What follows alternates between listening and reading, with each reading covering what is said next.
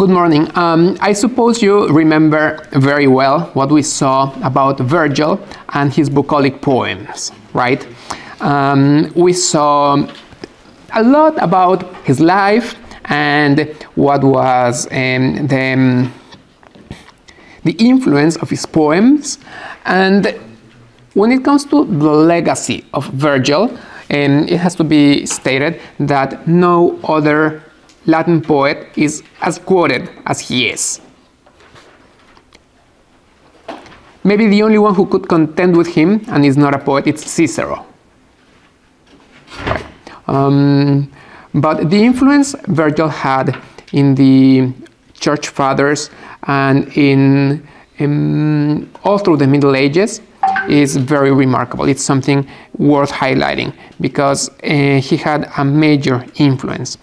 And today I would like to analyze with you some of his bucolic poems. Those bucolic poems, or, or those eglogues, remember that eglogue and bucolic poem are the same thing. Yes, bucolic poem comes from bucolos, which means the um, uh, cattle keeper, or um, eglogue comes from ekloge in Greek, which means selected poems. So these are selected poems about uh, shepherds. Um, I want to uh, write some, uh, I, want to highlight some things that you, I suppose you have already read in the anthology, right? Imagine after having read the anthology and having a well-grounded idea of what the content of the bucolic poems is, you, you come um, to your uh, exam and you find one of those poems. So the first question would be, how can you identify it, right? Um, well, if you, if you say, well, this is a passage taken from the second eglogue, that would be amazing. But for the exam, it's enough if you tell me this is a bucolic poem written by Virgil.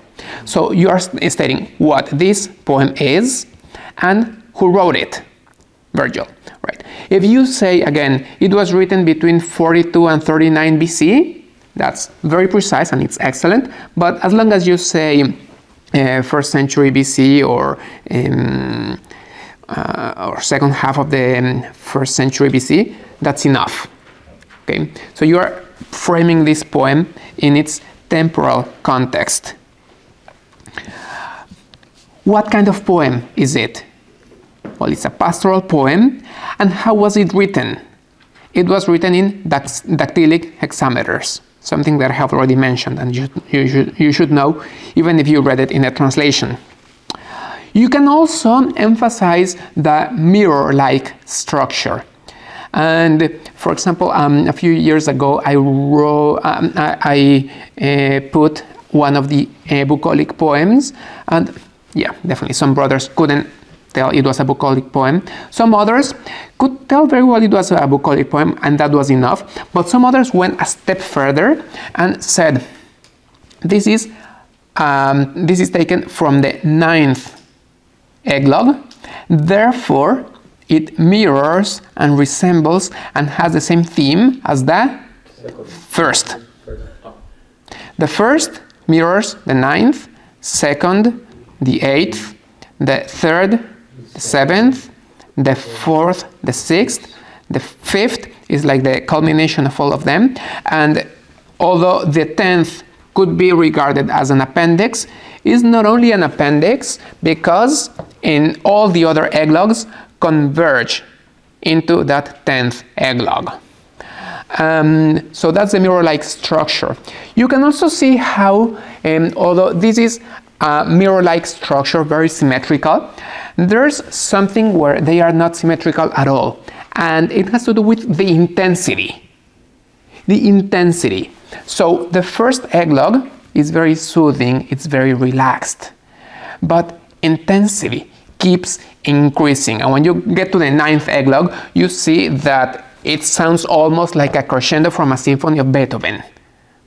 So there's this intensity that, is, that keeps always increasing. And with those elements, you have fully identified the text, and I know that you know how to identify this poem. Causes. when it comes to causes, you can be as close or as removed as you want. And it's important to cover a wide span. Let's begin with the very, very um, close causes. Why did Virgil write these poems? If you want to be very, very, very specific, you can say, well, because he had a, uh, something to write with. But it's not, it's not necessary to go that close. Uh, but, for example, it's important to mention Virgil's education. What education did he receive? Right? And you can mention that he received education in rhetoric, in law, in astronomy, in medicine, and he failed in all of those things. So, therefore, what was the um, where he where is where he found his true calling to poetry with a neoteric circle. So this is all part of Virgil's formation, and it's a very uh, closely connected cause to the writing of the eglogues. Another cause that is very closely related is the um, the war that um, Augustus waged against the assassins of the assassins of Caesar, and how that led to the expropriation of the farms. Because that's a cause, that's an influence. We wouldn't have the bucolic poems if that hadn't happened. Of course, a war in itself doesn't create a great poem, but that was a remote influence, that was a close influence that made Virgil experience a lot of things in his own self. He experienced his own suffering, and that led him to writing the, um, the bucolic poems, that led him to writing the eglogues. Virgil himself had been dispossessed of his land so that's a very closely connected cause. Virgil's own experience uh, uh, living in northern, northern Italy uh, in the countryside and how he longed and admired and loved the countryside, that's also something very remarkable in, in the life of, um, of Virgil. And it's unmistakable. You can see Virgil's influence and how he was touched by that sense of awe, by that sense of wonder before the countryside, and how that is reflected in the bucolic poems. So here you have Virgil's own experience as a major influence and as a major cause within the, the frame of the bucolic poems. Do you see this? Yes. So I have spoken about those causes that are closely connected to um, Virgil and to the writing of the book of the bucolic poems. Now, are there more causes behi uh, behind this? Of course, and you can go almost always. You can go to Homer, regardless of who the who the author is. Not always, but almost always, you can find some relationship with Homer. Why? Who created hexameters? And we find the, the, the, um, the hexameter pattern, we find it in Virgil too. Although when it comes to the themes, maybe it would be a greater influence what we find in the works and the days. Right? Because he's speaking about the countryside. If the text that you're analyzing um, were the uh, Georgics, definitely it's uh, unquestionable. You have to mention the works and the days. But here in the bucolic poems, of course, you can also mention some kind of influence from the um, works and the days, although, um, let's say that's the material he's working with. But what is the form? What is the content he's working with? Lyric poetry.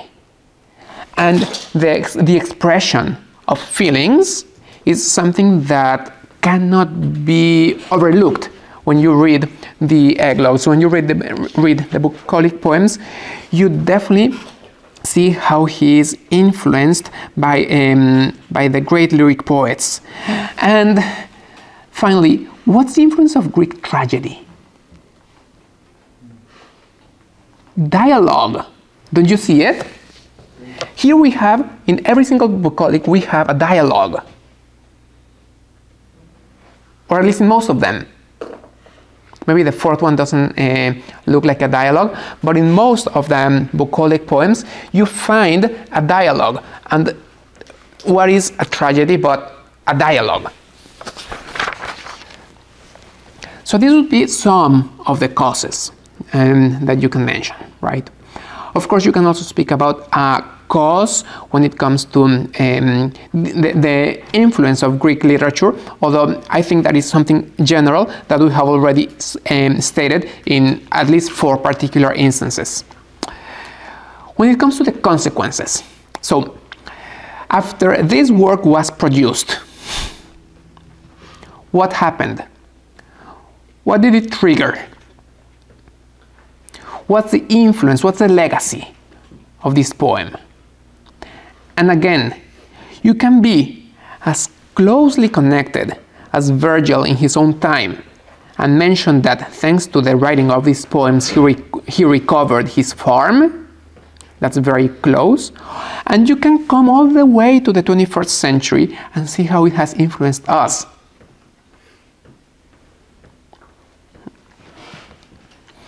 You don't have to mention that uh, part of the influence of this poem is that we are seeing it in our literature course, but you can, right? Um, so I am just mentioning this to emphasize how close or how distant causes and consequences can be, right?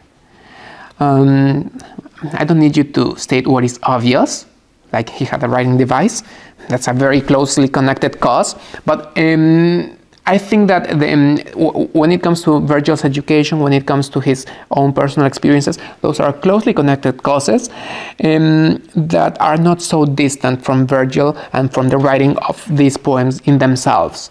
Now, when we analyze the consequences, we have the, um, the consequences that can be very closely connected or they can be also very distant toward the future. And we can see how um, the influence of the eglogs re-echoes through history and through them um, through, through Western literature. So what, what would be the consequences? First, he recovered his land, but even more important, his fame. He was acclaimed. Um, he was only 28 and being 28 after the writing of them of the bucolic poems he was a highly renowned poet and if you consider the eglogs they are pretty short right it's not like he had a bulky production but the quality was undeniable and that uh, made uh, virgil leap into uh, probably the highest stand of fame that had been known up to that point. Another important uh, milestone that we find um, in the um, eglogs is how he revolutionized Latin poetry. Of course, we have predecessors like Lucretius, who had written a very smooth and very refined poetry, but they had not created a school, and their influence had not been enough to change the course of Latin literature. Instead, after Virgil, we find a major shift in the way um, literature is uh, studied and, and, and learned. Yes? Would you say that his fame was also because of the fact that people could identify with him? Maybe the northern Italians could identify with his writings and they were passionate about it? Um, the question is if his fame would also be due to the fact that people could relate with him. And maybe not everyone, but definitely a lot of people could relate with him. And unfortunately, we also have to acknowledge that we are in a very unequal society. So those who had access to uh, readership. And those who had access to, um, to Virgil's poems were the elite classes or the aristocracy. Right. Um, and by the way, that's also an important point to highlight when it comes to the influence of Virgil, because he gave voice to those who had no voice. when, when we think about Theocritus, and it's also a, a, very important cause, right? You remember Theocritus. Um, when we speak about Theocritus as an influence behind the bucolic poems, you can see that he also had written um, great bucolic poems in Doric dialect. And definitely um, Virgil borrows a lot from those poems. So sorry if I forgot mentioning that when it comes to the causes. But mm, nevertheless, Virgil also refines and elevates the poetry of Theocritus. Why? Because in Theocritus, shepherds speak like aristocrats. So it's something quite artificial. It's not something that looks natural. The speech of a shepherd in, is not the speech that you would expect from a shepherd. Am I making this clear? Yes. Instead, when we read Virgil, we definitely find shepherds who speak like shepherds. And that is one of the uh, great achievements, and uh, that's a major part of the legacy of Virgil, that he has given voice to a group of people, to a social class that had no voice in those times.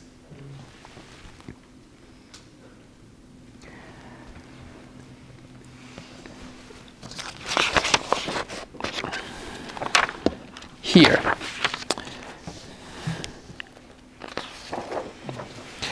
Verse 20 of the first eglogue Urbem quam dicuntrum mam melibe putavi, stultus ego ignostres similem quo sepe solemus, pastores ovium teneros de pelere fetus, sic canibus catulos similis sic matribus edos, noram sic parvis componere magna solevam. Verum mec tantum malias intercaput extulit urbes, quantum lenta solent inter virbuna cupresi. These are words that a shepherd, someone who's familiar with the rural life, would definitely say. What, what did I just say, by the way? Um, Rome. I was I was stupid. Imagine a shepherd saying this. Because I live here in the, in the countryside, and we, pastores ovium, shepherds of sheep, um, we usually compare things with um, what we know. So I thought that puppies were similar to dogs and little uh, kid goats were similar to the rams. Because as shepherds, we um, parvis componere magna soleva. I use, as a shepherd, I used to compare parvis magna, right? I used to compare small things with the larger things. So this shepherd, who has no culture, who has no experience, goes to Rome naively thinking that he will encounter Rome just like a big town. Right? He thinks he's going to encounter in Rome just um, a settlement like the one, uh, like the farms where he lived. So he thought, okay, they are going to have just farmlands, but they are going to be larger. And when he comes to Rome, he's surprised and amazed and overwhelmed. Verse 25th, Verum actantum alias intercaput extulit urbes. This city, Rome, has elevated its head so much on top of the other cities. Quantum lenta solenti inter virbuna cupresi. As much as um, as much as uh, the the cypresses, you know the cypresses, the, the trees, as much as the cypresses uh, elevate above the bushes. So this is the voice of a shepherd.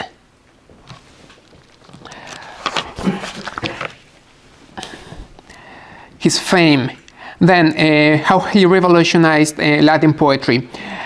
Another major consequence of the writing of the, bucol of the bucolic poems is um, his admission into the circle of Maecenas. And that was a life changing event for Virgil. Because now he could completely dedicate himself to poetry favored by his patron Maecenas. As a consequence of this, then he would be commissioned with the Georgic poems and eventually the Aeneid for two very distinct, eh, for two very different purposes. In the Georgics, he intended to elevate an almost idealized country life, especially in the hustle and bustle of a busy city like Rome. This was largely appreciated. The peace and the quietude of a country life. And you can also see this in an incipient way when it comes to the bucolic poems.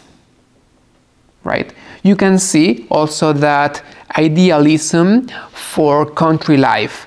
And you can see how they see the country life almost like an idyllic realm where we shepherds, yeah, of course, you, sure, we have to take care of the goats and that they don't run away, but most of our time is dedicated to singing and cultivating the arts. So he wanted to elevate and create this idyllic view of country life. Um, eventually, as a consequence of these poems, you, you, I have already spoken about Sortes Virgilianae, which has, uh, which is some kind of uh, divination through uh, the works of Virgil. I've spoken already about his reception in the church fathers, so that's a major consequence. How he influenced the church fathers, how he influenced Christian poets like Lactantius and Prudentius, um, especially the fourth eglogue and the major influence that he had with the fourth eglogue.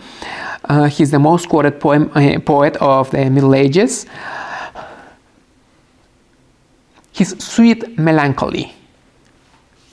I'm using this word as an oxymoron because usually you consider melancholy to be bitter. But in Virgil, we find some kind of sweet melancholy. And that is not something that we should take for granted because it's also a significant turn and a major shift in the way he addresses or he approaches several of these themes we can find some dramatism in Virgil, right? But in the eglogues, I will say that there's hardly any dramatism. There can be intensity, you, yes, sure, there can be intensity, but I, I don't see, um, I don't see that he cries out, rending the heavens like Dido does in the fourth book of the Aeneid. So here we complain we complain in, in, in a sad tone, but nonetheless, it's kind of sweet. And you can find that all through them, through the bucolic poems, and that's a major influence of, um, of Virgil. Definitely, that's part of the consequences that uh, Virgil brought into the, the, um, the study of literature. And eventually, he would be very studied during the Renaissance. In the Renaissance, they would um, try to imitate his, his uh, eglogues. Um, there's a great poet of the Renaissance. He lived, I think, in the 1400s. Um, Giovanni Battista Mantuano. He was also from Mantua, and um, he was a Carmelite. He was a Carmelite friar, and he wrote great poems after uh, following the footsteps of, of Virgil. Um, definitely, you can also see the influence he had in Dante. And in Purgatory, they find a snake. Latet anguis in herba. It's almost a copy paste that Dante used precisely from the bucolic poems.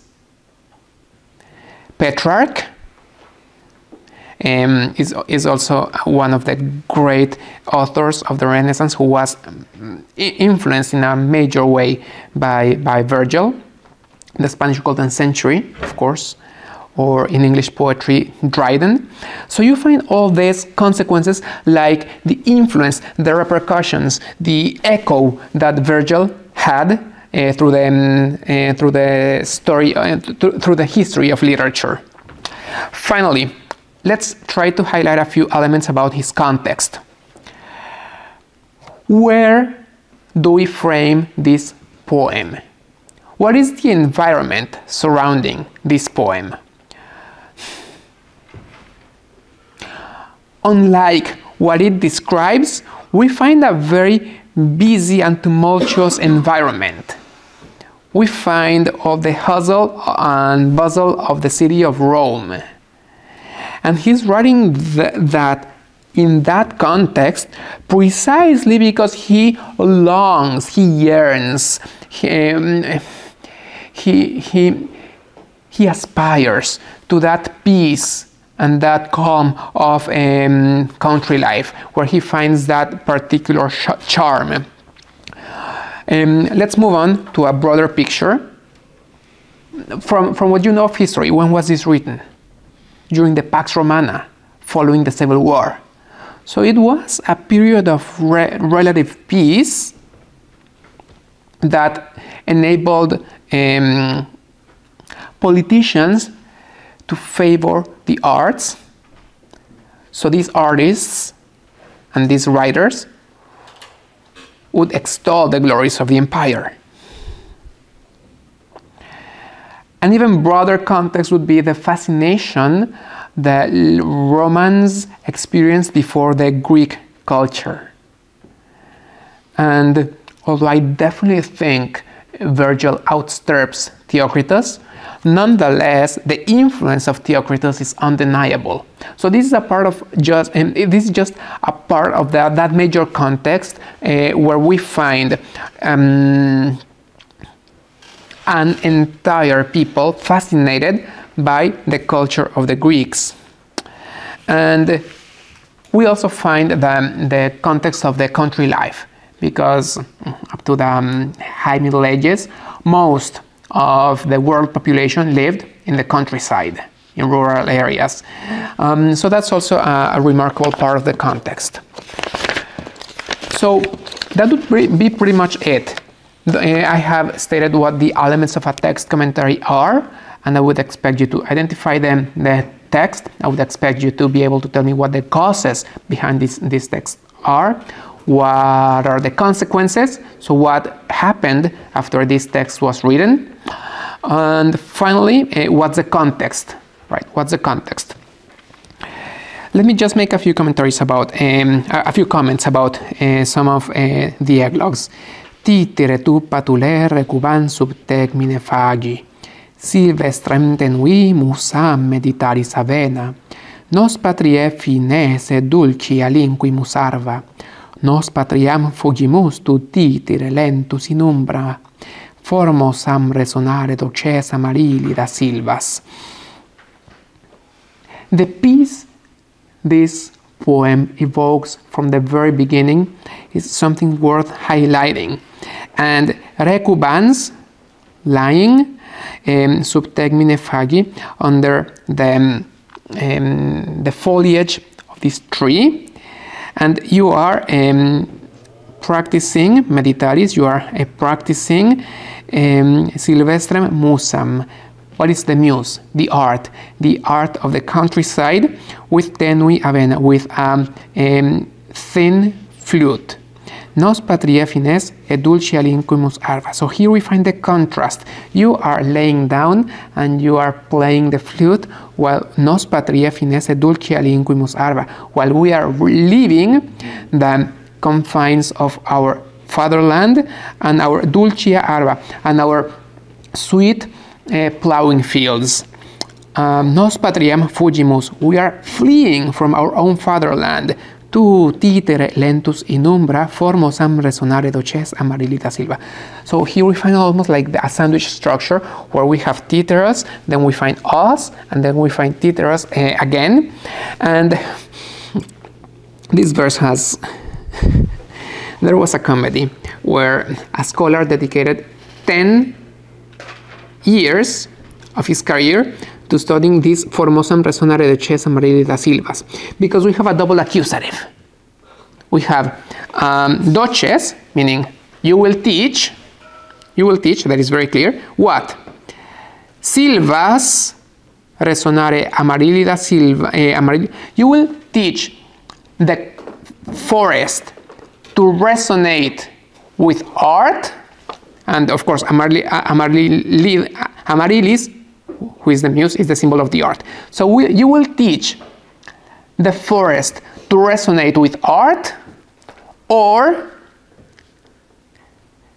you switch the accusatives and you will teach the art to resonate with, with the muse. We, um, sorry, with the forests. You will teach the art how to resonate with the forest. Meaning, will you incorporate the forest into the art or will you incorporate the art into the forest? And that ambiguity um, eventually would come uh, to serve as a standpoint for a comedy where uh, of course it's, it's, fiction, but this scholar supposedly dedicated 10 years to analyzing who teaches whom or what teaches what. And at the end of his research, they ask him, So what have you found so far? And he says, Nothing yet. and the Antipteros, the, the shepherd who's lying peacefully, O Meliboee, deus nobice toxia fecit. And let me just press fast forward. This is a very, very beautiful uh, passage, but I think I have already read it to you, right? Um, so, who's that God? The emperor himself, right? Um, um, Nunca merit ile mihi ili usara sepet tenera novice abobilibus imbuet años. So there will always be a, a, fresh sacrifice on my altar to that God, who is the emperor. Ile me acerrare boves ucernis et ipsum ludere quevelem calamo permissit agreste. He is the one who has enabled me to play the flute here in the fields, and he is the one who has uh, enabled my my um, calves to, um, to go wide, to, to go um, through the wide fields. And and of course we don't know uh, who that uh, god is at first. It could be the emperor, but it could also be certamen iste deus qui sit da Tityre nobis. Da, understand that da, not like to give, but like to say. So tell us, O Tityrus, who is this God? And what is the response? Urbem quam dicunt Romam Meliboee putavi. Notice this.